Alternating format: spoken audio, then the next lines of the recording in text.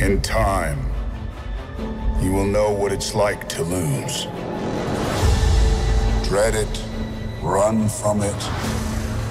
The end is near. We got one advantage. We have what Thanos wants.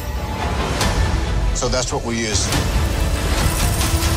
I think it's good, except it sucks. So let me do the plan, and that way it might be really good. Wow.